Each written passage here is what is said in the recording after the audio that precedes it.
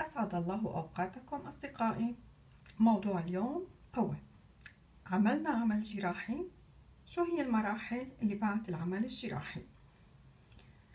أنا خبرتكم بالفيديو الأول رح يكون رابطه بصندوق الوصف. إنه المراحل اللي أنا مرقت فيها أثناء استئصال سرطان الغدة الدرقية.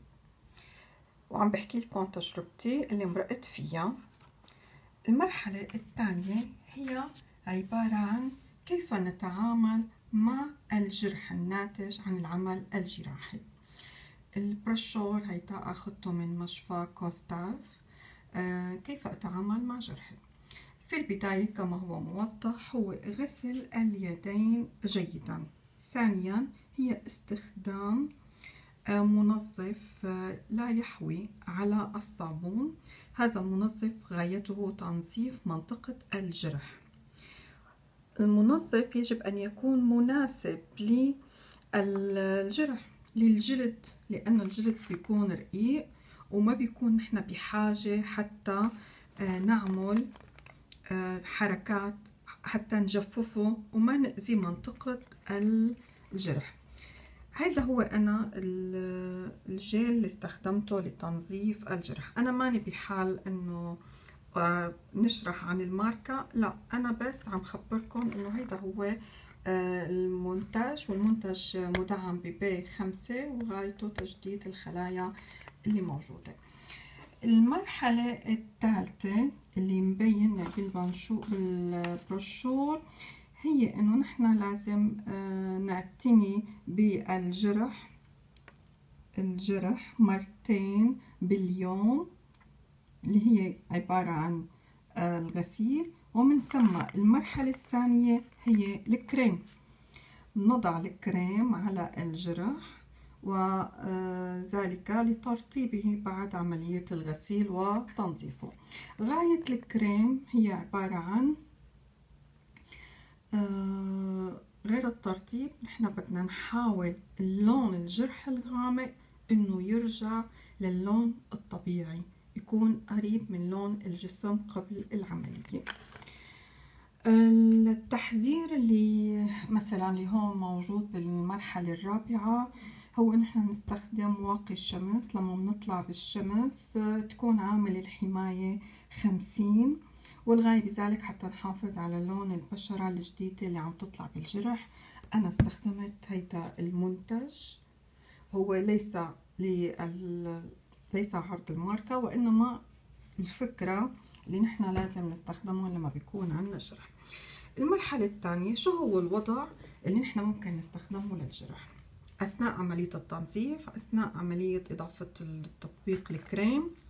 إذا كان لدينا الجرح صغير نستخدم الأصابع الثلاثة واللي نربط على الجرح قليلا دون الفرك. أما إذا كان الجرح كبير فإننا نستخدم راحة اليد بحركة خفيفة وناعمة على الجرح.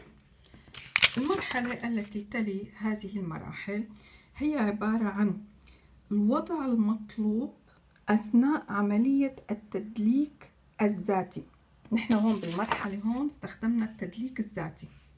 التدليك الذاتي بيكون بعد ما بيسمح لك الطبيب المعالج إنك أنت تقوم بالتدليك الذاتي. شو هي شروط التدليك الذاتي؟ لازم يكون نحن بحركات دائرية خفيفة دون الفرك. ما نفرك الجرح حركات دائرية خفيفة بغية توزيع الكريم على الجرح. أيضا نستطيع بحركات إلى اليسار واليمين. إلى الأعلى والأسفل. المرحلة الرابعة هي بعد شهرين من مرحلة العلاج وبموافقة الطبيب المعالج أيضا حيث نقوم بمسك الجلد من الأعلى ومن الأسفل ونقوم بتربيته هكذا. الغاية من هذه المرحلة أو من المراحل السابقة التي تسبق مرحلة الشهرين هي الجلد التخلص من الجلد القديم والحصول على جلد قريب من اللون البشرة. يعني الغاية هي عبارة عن تقشير الجلد بحركات بسيطة دون إيذاء الجرح. هذه العملية تكون مرتين في الأسبوع وكل مرة لمدة عشر دقائق. والغاية من ذلك نعيدها هي تقشير الجلد والحصول على لون قريب من لون البشرة الطبيعي. آه، أرفق لكم صور الجرح قبل وبعد. أما حاليا أنا لسه ما كفيت الشهر.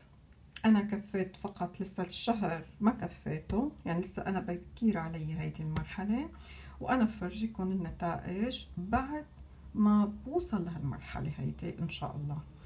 الفيديو القادم رح يكون عن آه، العلاج باليود المشع. أنا شو هي التجربة اللي أنا مرقت فيها وعشت فيها؟ بتمنى تكون هالمعلومات اللي قدمتها مفيدة وبرتب لكم الطاقة الإيجابية اللي بيتمتع فيها الشخص المريض و الوسط المحيط هي أهم علاج لأنه الواحد بيموت من الهم.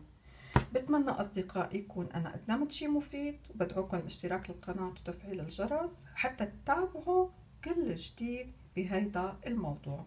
دمتم بخير وصحة.